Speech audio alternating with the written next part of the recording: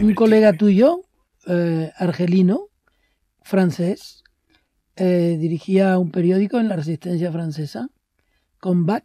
Combat. Se llamaba Albert Camus.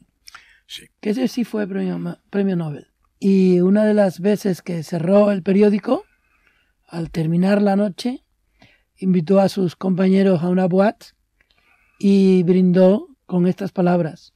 Vale la pena vivir para este oficio. Yo digo lo mismo. Vamos, yo no soy nadie. ¿Cuál pero- sería tu brindis hoy? Qué bien me lo he pasado.